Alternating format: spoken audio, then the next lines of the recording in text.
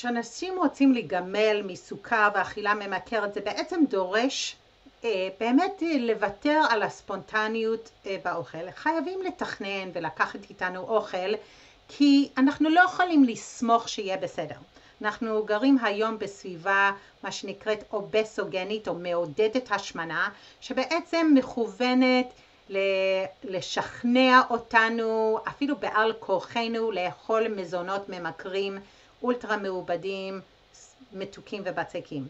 uh, וכל הזמן תאכלי אותי תשתי אותי תאכלי אותי תשתי אותי. כל הזמן רומזים לנו את העניין הזה ומעלים את הרצון לאכול.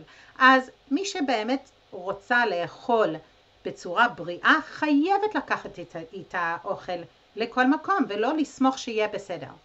הרבה פעמים אה, אנשים וגברים שמצטרפים לתוכנית שלי ומתחילים אה, לחיות על פי שיטת יעד, אה, בהתחלה אומרים שקשה להם עם המחשבה הזאת שאולי זה פוגע בחופש שלהם בחיים, בחופש סביב האוכל, שזה שהם כל הזמן צריכים להיות מתוכננים ולקחת אוכל איתם כל הזמן. ומה שאני אומרת זה בדיוק ההפך הוא הנכון.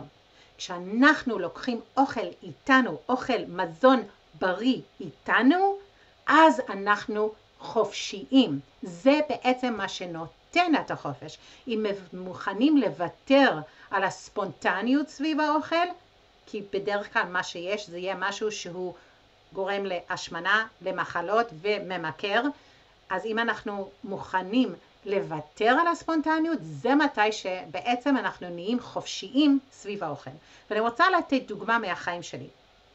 בוקר אחד אה, הלכתי לאיזושהי פגישה, קורס שמלמדים אותנו, אה, אנחנו קבוצה והייתי באיזושהי, בקורס ואיחרתי. וגם בערב לפני התעצלתי ולא הכנתי את הסלט והטונה וטחינה שלי ועכשיו הייתי באיזושהי דילמה, מה אני עושה? האם אני מאחרת עוד חמש עשר דקות ומכינה את הסלט ואולי זאת שמארגנת את הקורס תסתכל עליי, תתאכזב ממני, זה מושך אליי תשומת לב אם כולם כבר יושבים ואני נכנסת אה, באיחור, זה לא נעים, והיא כאילו תתעצבן עליי, זה עוד יותר לא נעים. האם אני עושה את זה בכל זאת, או האם אני מוותרת ואומרת יהיה בסדר, הפעם יהיה בסדר ונוסעת. אז בואו ניקח את הבחירה הזאת של אולי שאני, שזה אגב, זה הבחירה שבדרך כלל רוב האנשים לצערי לוקחים, זה שהייתי מוותרת, כאילו הייתי אומרת לא, לא, לא נעים לי, אני אסתדר, בטח יהיה איזה מקום לקנות איזה סלט או בטח יהיה משהו, הם יגישו כיבוד, בטח אני אוכל למצוא ואני אסתדר עם מה שיש ויהיה בסדר. אז נגיד שאמרתי את הדבר הזה, אוקיי, אני נוסעת, באמת לא מגיעה באיחור, אה, מגיעה יחד עם אה, רוב האנשים אה, ומתחילים את הקורס. ואז בסביבות תשע מוציאים את הכיבוד בשקיות. איפה אני? אני מקשיבה לקורס, אבל חלק ממני מסתכל על הכיבוד. מה יש? האם אני אהיה לי מה לאכול או לא יהיה מה לאכול? ואז מוציאים את הכיבוד. מה היה בכיבוד? סנדוויצ'ים, קרואסונים, בורקסים ואיזה פלטה קטנה של ירקות אה, חתוכים, שזה כל הפלטה הזאת, זה ארוחת בוקר שלי בדרך כלל. וזה מה שיהיה לי, כמה ירק, פרוסות ירקות כאילו על צלחת, כי לא נעים לקחת את כל הירקות של כולם. אז אה, אוי, מה אני אעשה? ואז אה, כאילו כל הזמן יש את השיחה הזאת, מה אני אעשה? טוב, אז בהפסקה אני אלך לקפיטריה. טוב, בהפסקה אני הולכת לקפיטריה, אין כלום בקפיטריה. מה רק מוכרים דברים עם קמח וסוכר, ואני לא אוכלת קמח וסוכר. אז רק מוכרים סנדוויצ'ים ובורקסים ודברים כאלה. אם אני אוכלת את הדברים האלה, אני יודעת איפה זה מתחיל, אני לא יודעת איפה זה נגמר. אז אני לא נוגעת, אני לא, אני כדי לצאת מהמאבק של המאכלים האלה, אני יצאתי מהזירה. לא נכנסת לזירה איתם, אבל זה כל מה שיש בקפיטריה. טוב, אני אחכה עד הבית, אני אשתה הרבה קפה כדי uh, להשקיט את התיאבון, וכשאני אגיע הביתה, אז מה קורה? כל הקורס, אני עם איזה דיבור פה בצד, אני רעבה, אני לא רעבה, אני אוכל להחזיק מעמד עד סוף הקורס, אני לא אחזיק, הבטן מגרגרת או לא מגרגרת, ואז אני מגיעה הביתה בשלוש, כאילו אחרי צהריים, ככה עם הלשון בחוט מתה, עושה בחירות לא נכונות באוכל.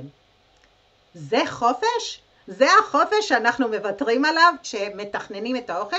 מה קרה בפועל? בפועל אמרתי לא, אני, הייתה מישהי שהשתתפה בתוכנית שלה, אמרה את זה כל כך יפה. היא אמרה, יש לפעמים מצבים שמישהו ירגיש לא, מישהו ירגיש רע, מישהו ייפגע, וזה לא יהיה אני.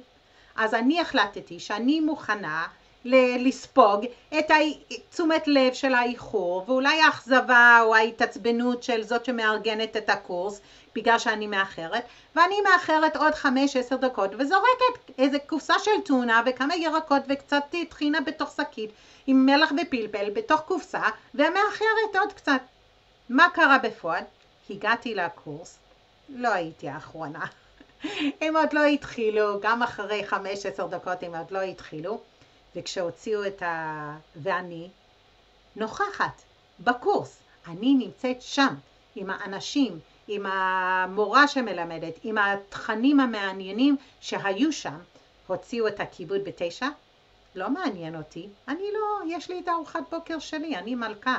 עשר וחצי מגיע, אני יושבת בקפיטריה לאכול את הסלט, מסתכלת מסביב, רואה שאין כלום שם שהייתי יכולה לקנות, איזה מזל שהבאתי את האוכל שלי, ועוד יותר בידיעה שגם אם כאילו, אם לא הייתי לוקחת, אין איזה מכולת קרוב לשם שהייתי יכולה ללכת ולקנות.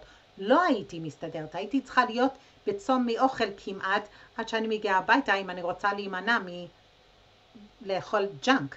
אז, אה, אבל אני, לא אכפת לי.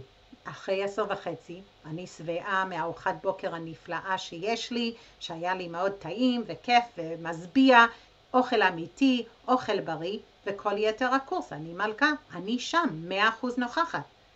אז כשאנחנו חושבים על ויתור, ויתורים, או על החופש סביב האוכל, מה באמת זה חופש סביב האוכל?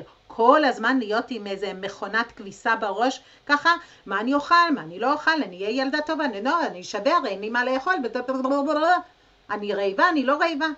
זה חופש? להיות שמה, כאילו לא להיות נוכחת בחיים שלי, כל הזמן יש איזו שיחה צדדית סביב האוכל?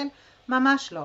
החו, זה, זה שאני מוכנה לשים את עצמי במקום הראשון, לדאוג לצרכים שלי באוכל, להכין לעצמי את הסלט, ואז גם אם זה אומר שאני אאחר עוד חמש דקות, זה אומר שאולי ניחרתי עוד חמש דקות, אבל אז במקום הזה אני מאה אחוז נוכחת, כי אני לא צריכה לדאוג לגבי האוכל.